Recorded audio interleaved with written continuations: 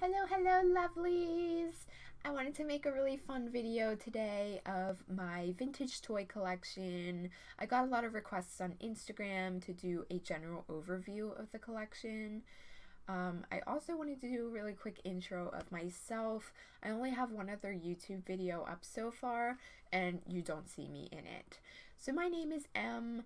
Um, you can also call me Sarah.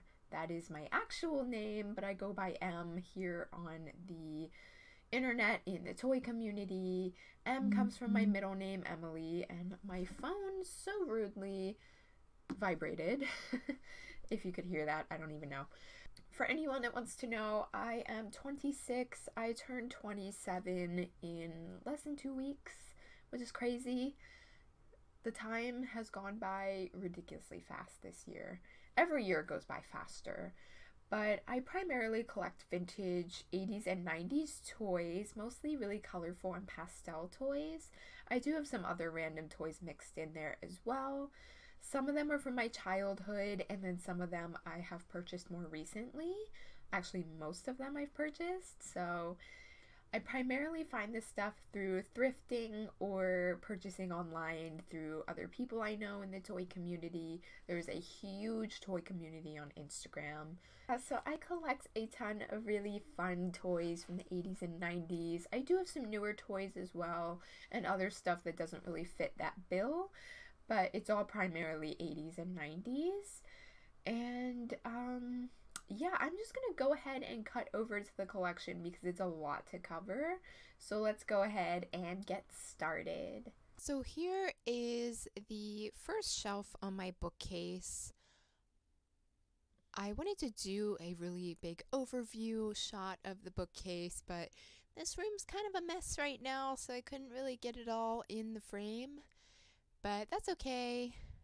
But let's go ahead and get started with what's on this first shelf. So, so let's start with my Sanrio Tuxedo Sam plush. He's super duper cute.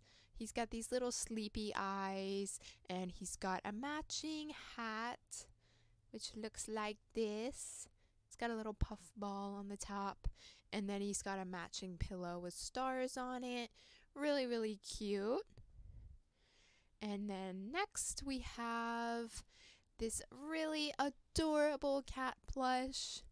Let me move the nosy bear. So this is actually a Soviet era plush. That is not the reason why I purchased this. I just thought it was so cute. I have an obsession with cats. I have two cats of my own, so I'm just drawn to cat stuff. So I found this on eBay and I just thought it was adorable. You can actually turn his head. Um, so you can turn it so that he's facing forward too. Or you can have it, you know, face sideways like I had it before. I had it sideways so he sat better on the shelf because he's really big and bulky. So I'll put him back there. And then we have a Wuzzles plush here. Oops, Skeletor fell. So this is Koalakeet, and then Hoppopotamus is next to him. So Wuzzles were a really fun, imaginative 80s toy line. Each one is a combination between a couple different animals. So this one is a combo between a parakeet and a koala. It's got the parakeet beak, but then it's got like the fluffy koala ears. And it's just so cute. And they all have wings this one has little blue wings. And then this one's Hoppopotamus. Oh my gosh, he doesn't want to stand up. So that one's Hoppopotamus. He is a combination between a hippo and a rabbit. And then he has like little angel wings back here that you can kind of see. So that's really cute. I do want to say that the Wuzzles plushies are extremely well made and have held up really, really well over the years. Whatever fur they used for these, obviously not real fur, but whatever kind of plush fur they used for these is really good quality because it hasn't like matted down or bunched together like you often see with vintage plush. But, anyways, next we have my nosy bear. And this one's like a mint green and a pastel pink. And it has this um, really fun dolphin nose. I don't know if you can really see that. It's really dark. I'm sorry. But you squeeze it and its nose moves. Can you even see that? Hello. So yeah, you squeeze it and the little dolphins spin around. So you kind of got the idea. So that's the nosy bear. And then next I have my good luck care bear who's originally sitting here. And this is from my childhood. This was a hand me down, and it just means a lot to me. I have it in the official Care Bear wear. It's like these really cute little overalls and a little matching hat. And then lastly on this shelf we have Skeletor. Skeletor is my favorite villain ever and also my favorite He-Man character. He's just so funny.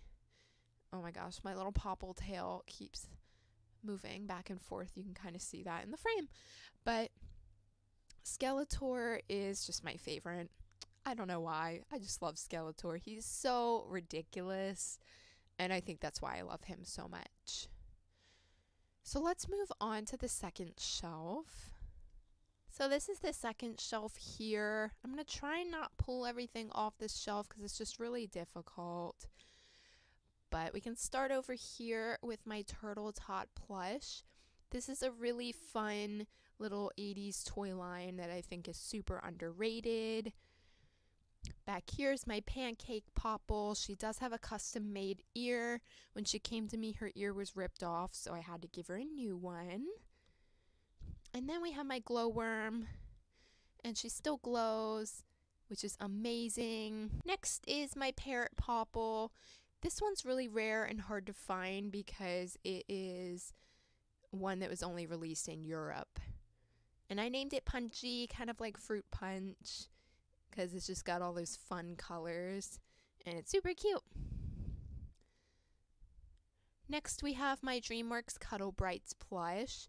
The fiber optic hair lights don't work as nicely as they used to, so I'm not going to turn it on because you probably won't even see it. But I love this darling little face. I love the little tongue that sticks out and the heart nose. And then the eye paint is super pretty. And how can you not love tinsel hair? Like, it's just so dreamy. And then the confetti ribbons are everything. And then we have Mew. I got this more recently, but this is just a really cute Mew Pokemon plush. And then we have a pretty bit Popple. I'm sorry you see all my computer wires over there.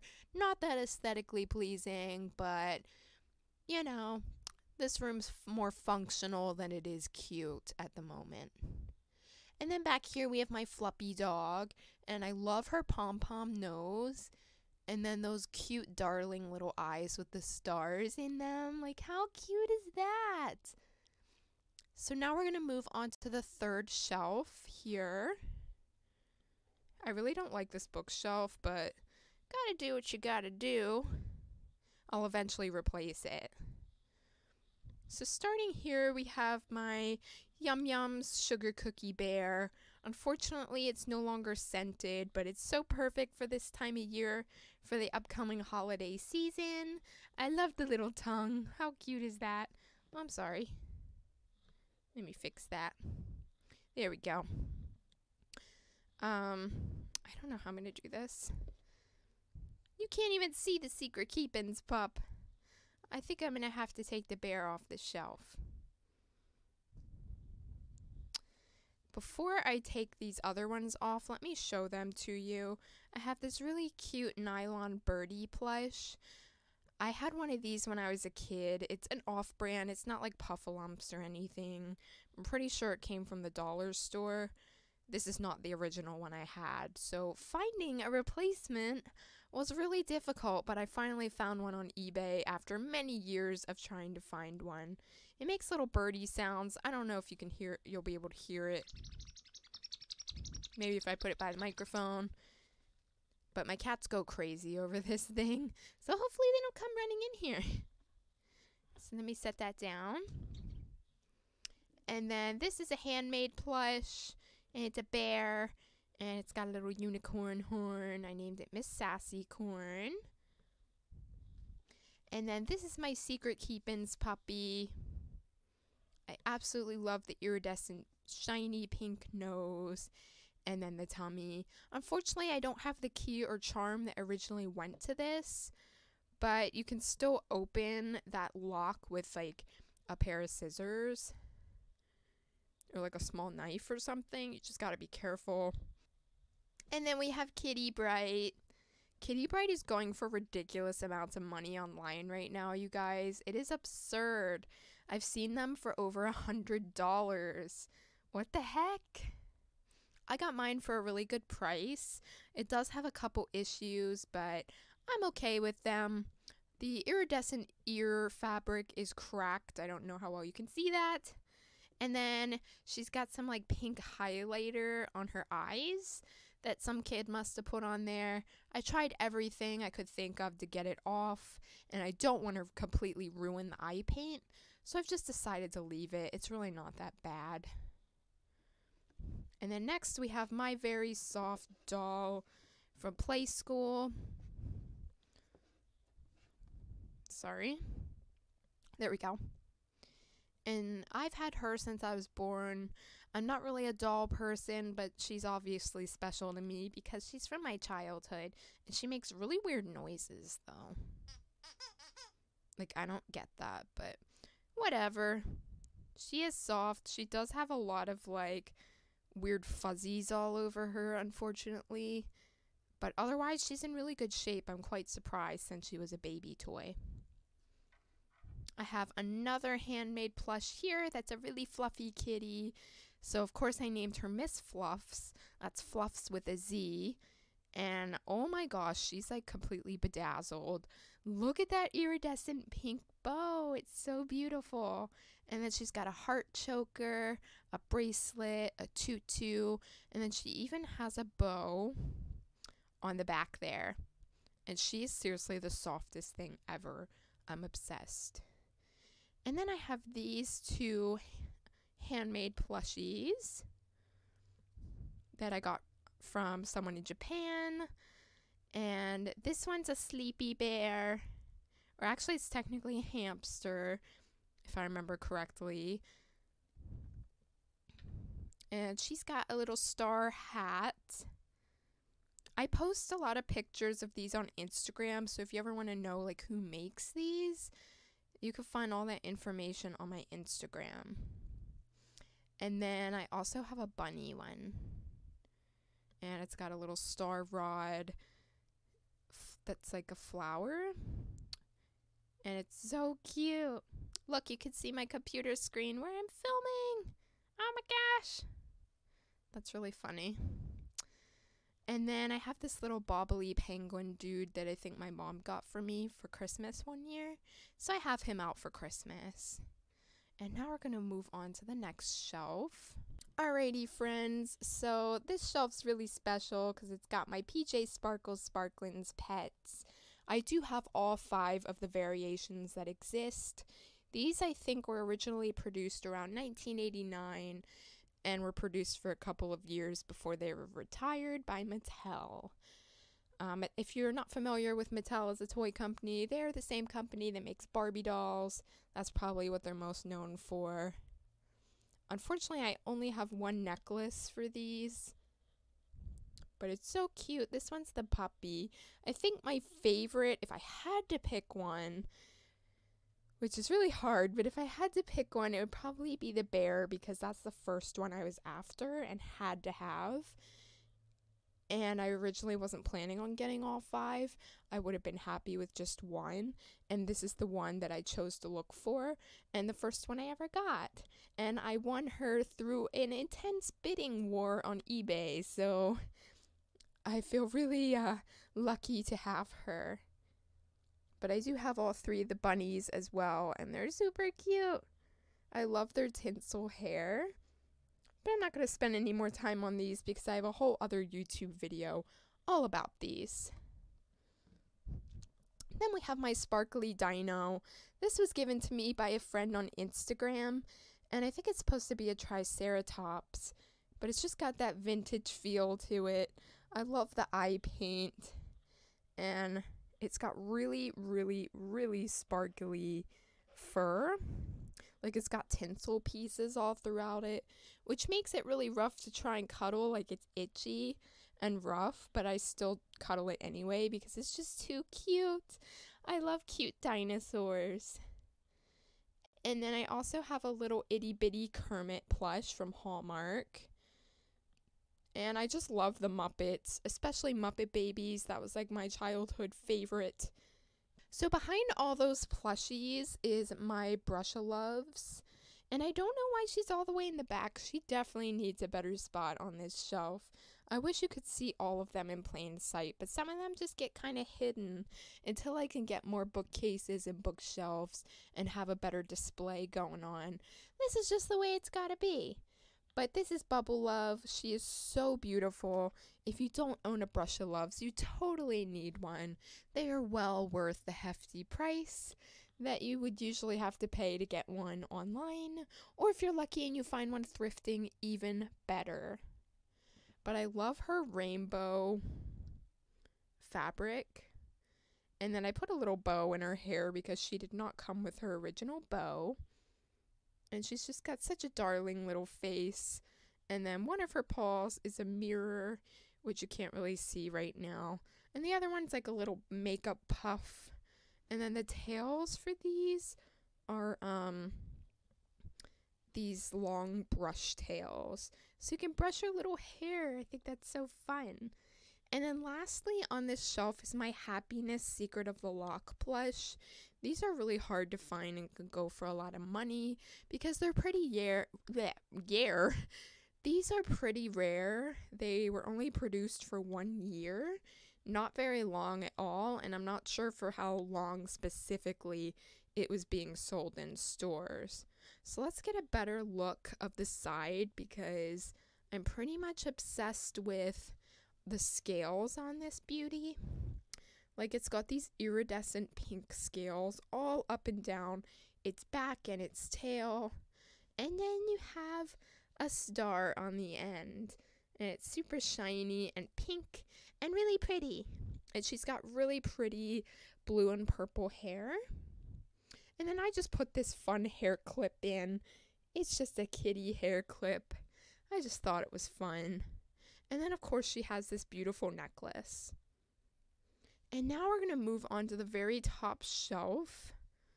This is my top shelf up here. Um, over to the left is my Precious Places Magic Key Mansion from Fisher Price.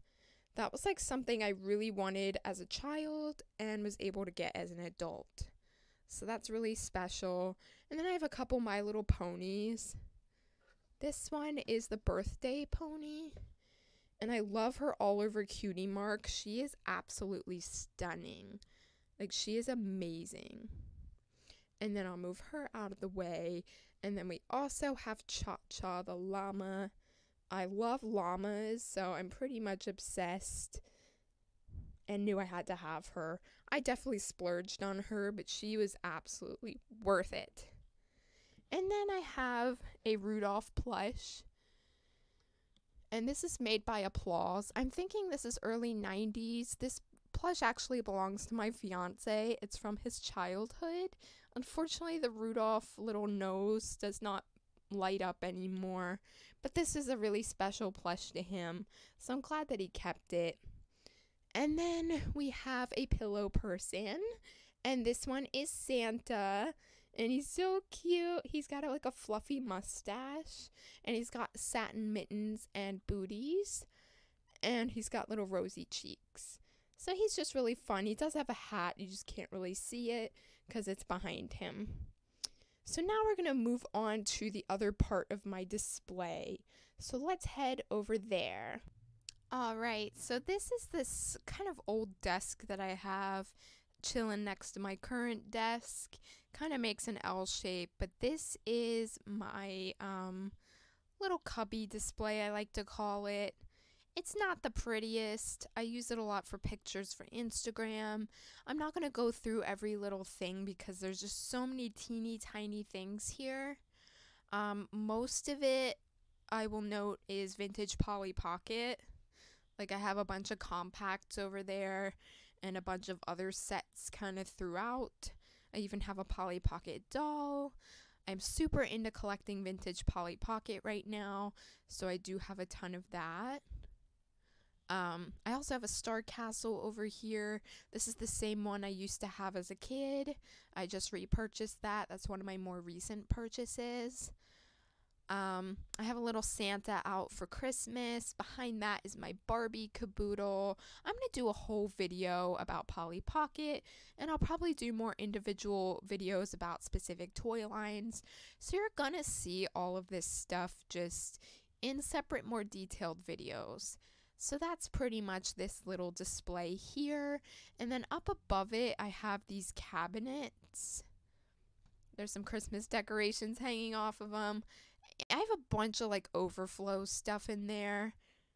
I have some extra Polly Pockets that are chilling in there and a bunch of other stuff. I'll try to just give you a little overview real quick, but I'm not going to go into detail with that stuff. Alright, so this is my little cabinet storage at the moment. I at least tried to make it look cute, even though you don't really see it because the cabinets are normally closed. But sometimes I grab stuff out of here to take pictures of them. So everything in here gets love too, even though it's hidden behind doors at the moment. Eventually, I'm going to get more bookcases and all this stuff will be out on display. But I have a lot of really random stuff in here. Some of it doesn't tie in as much with the other collection items. Like up here, there's some more action figure type stuff. There's also a baby Luigi plush a really, really, really vintage dog plush that I rescued from an antique shop and I named him Mr. Pupple. Half his fur is missing. He's extremely old, but I just thought he was so cute and I just couldn't bear to leave him behind. I kept picturing him just ending up in the trash because no one would want him, and that made me really sad. So I got him. There's also a few My Little Ponies, like I said, extra Polly Pockets that sort of stuff. So you'll see this stuff if you follow me on Instagram in photos, and you'll also probably see a lot of this stuff in future videos.